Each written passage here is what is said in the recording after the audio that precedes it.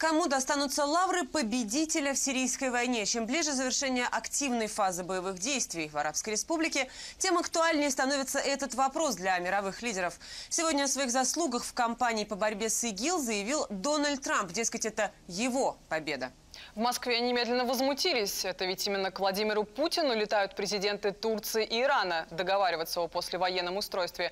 Именно он, Путин, на днях посетил базу Хмимим в Сирии, чтобы объявить об успехах и начале вывода российского контингента. Что происходит в Арабской Республике и вокруг нее? Лиза Камен с подробностями. Церемония подписания оборонного бюджета США вполне себе рутинная процедура, перед которой президент произносит протокольные слова. О задачах и трудностях, которые стоят перед Пентагоном, и о том, как армия США благодаря новому бюджету планирует защищать американцев. Но с приходом к власти Дональда Трампа почти каждая привычная церемония приобретает неожиданный поворот. Перед тем, как поставить свою подпись под документом о военных расходах Соединенных Штатов на 2018 год, хозяин Белого дома объявил о том, что Америка победила в Сирии и Ираке. Мы выделяем средства на продолжающуюся борьбу по уничтожению ИГИЛ. Как вы знаете, мы победили в Сирии, мы победили в Ираке, но они распределяются в других районах. И мы преследуем их так же быстро, как они распространяются. Предшественник Трампа, Обама, на последние слова не отреагировал, но вот российская пресса и политики обвинили американского президента в краже чужой победы. Мол, американцы хотят примазаться к российской славе. Заголовки российских государственных СМИ показательны. Они сводятся к слову приписывают. Но если взглянуть на ситуацию объективно, то международная коалиция действительно вытеснила ИГИЛ из Ирака, освободила многомиллионный Масул в Сирии, очистил от экстремистов ряд городов, в том числе Раку. Я напомню, кстати, что исламское государство провозглашало Раку своей столицей. И, тем не менее, официально в победе над ИГИЛ первым заявил не Трамп, а Путин еще 6 декабря. Министр обороны доложил, что операции на восточном и на западном берегу Ефрата завершены полным разгромом террористов. Естественно, еще могут быть отдельные очаги сопротивления, но в целом э, боевая работа на этом э, этапе и на этой территории закончена. Закончена полной, повторяю, победой и разгромом э, террористов.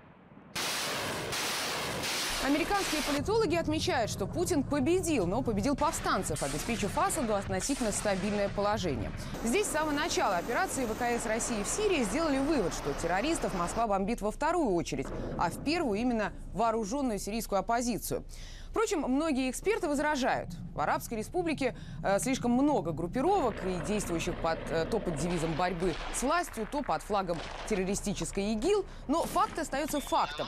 Россия вытеснила Америку с Ближнего Востока. И это проблема для Дональда Трампа. Для США в целом сирийская кампания более чем значительна. С 2014-го Америка потратила более 14 миллиардов долларов на войну против исламского государства. Америка возглавляет коалицию, и президент лично на фоне ряда болезненных поражений во внутренней политике заинтересован в том, чтобы подчеркнуть, вот здесь он победитель, в отличие от Обамы. За последние 8 месяцев у нас на счету больше побед над ИГИЛ, чем за все время правления предыдущей администрации. Но пока Асад остается у власти, Россия определяет будущее Сирии. И вот уже журнал «Нью-Йоркер» пишет, что с новым статус-кво на самом деле смирился и Трамп. Он якобы согласен с тем, чтобы Башар Асад оставался на своем посту до 2021 года. При этом глава Госдепартамента США Рекс Тиллерсон заявил, что он с такой позицией не согласен. Президент довольно ясно подчеркнул важность сохранения рабочих отношений между США и Россией. Но пока их нет. Мы сотрудничаем в Сирии, но вторжение России в Украину мы не можем принять. Как я уже говорил ранее, Россия приняла решение поддерживать Башара Асада. Мы решили этого не делать. Но когда вы вторгаетесь на территорию другого государства, мы не можем это так оставить. К слову, Украина упоминается и в том самом оборонном бюджете США, который подписал Трамп. Из выделенных Пентагону почти 700 миллиардов долларов 350 миллионов предусмотрены на военную помощь Киеву. Кроме того, документ содержит пункт о сдерживании потенциальных угроз со стороны Москвы. Речь идет о противостоянии пропаганде, кибератаках, вмешательству в выборы, гибридной войне. На помощь союзникам в Европе и странах НАТО по противостоянию России выделяется более 4,5 миллиардов долларов. Лиза Каймен, Владимир Бадиков, Регина Фокс, RTVI Нью-Йорк.